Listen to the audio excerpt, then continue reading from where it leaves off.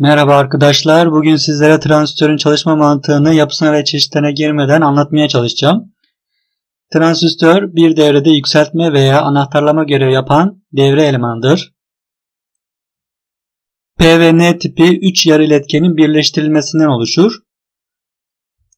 Burada anlatacağım BJT transistör, bipolar junction transistör yani iki kutuplu eklem transistör. Solda BJT transistörün şeklini, sağda ise sembolünü görüyorsunuz. 3 bacağımız var. Bunlardan biri base, diğeri kolektör, diğeri ise emitterdir. B, C ve E kısaltmalarıyla gösterilir. Bunların sırası her zaman böyle değildir arkadaşlar. Değişebilir. Yerleri değişebilir. Sembolünde ise buradaki bacağımız base, buradaki kolektör, buradaki de emitterdir. Peki transistör nasıl çalışır? Base'den gelen küçük bir tetikleme akımıyla arkadaşlar kolektörden emitere gidecek veya emiterden kolektöre gidecek büyük bir akım kontrol edilir. Biz transistörümüzü bir musluğa benzetebiliriz. Musluğun vanasını base olarak düşünün. Suyun gideceği yerde kolektör emiter arası. Yani base'den tetikleme akımı olduğunda transistörde bir akım kontrol edilirken burada ise biz suyun gidişini kontrol edebiliriz. Vanayı açtığımızda biz bu suyu kontrol etmiş oluyoruz. BJT transistörler iki tiptir. Birincisi NPN transistör, ikincisi ise PNP transistör. Aralarında çok fark yok. Sadece NPN transistörde base'den emitere doğru giden küçük bir tetikleme akımıyla kolektörden emitere giden büyük bir akım kontrol edilirken PNP transistörde base'den kolektöre doğru giden küçük bir tetikleme akımı ile emiterden kolektöre doğru giden büyük bir akım kontrol edilir. Yani tetikleme akımı ile NPN transistörde kolektör emiter arası akım kontrol edilirken PNP transistörde emiter kolektör akımı kontrol edilmiş olur. Burada iki tane devre görüyorsunuz.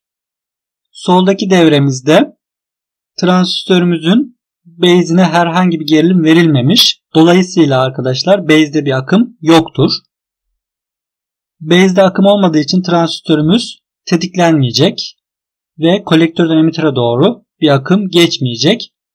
Geçmediği için de ledimiz yanmayacak. Sağdaki devrede ise base'e 5 voltluk bir gerilim verilmiş. Bu devreden ne olacak? Base'den emitere doğru küçük bir akım geçmiş olacak. Transistörümüz bu akımla tetiklenecek arkadaşlar. Sonra kolektörden emitere doğru büyük bir akım geçecek. Ve ledimiz yanacak.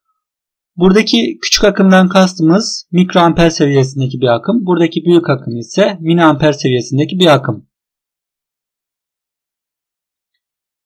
Başka bir devre üzerinden çalışma mantığını pekiştirmeye çalışalım. Burada iki tane devre görüyorsunuz. Soldaki bir kumanda devresi, verici devresi. Sağdaki ise bir alıcı devresi.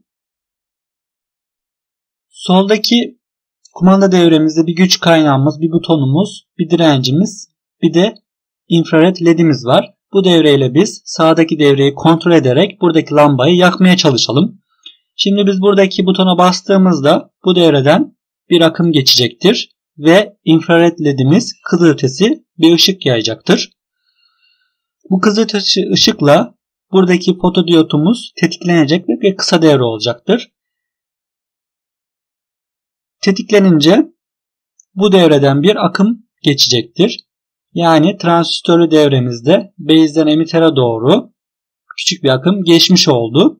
Transistörümüz bu akımla tetiklenecek arkadaşlar. Ve kolektörden emitere doğru bir akım geçişi sağlanacaktır. Bu akımla da lambamız yanacaktır. Buradaki miliamper seviyesindeki pardon mikroamper seviyesindeki bir akımla buradaki miliamper seviyesindeki bir akımı biz kontrol edip lambamızın yanmasını sağladık. Transistörün anahtarlama olarak görevi bu şekildedir arkadaşlar. Beni dinlediğiniz için teşekkür ederim. Faydalı olması dileğiyle.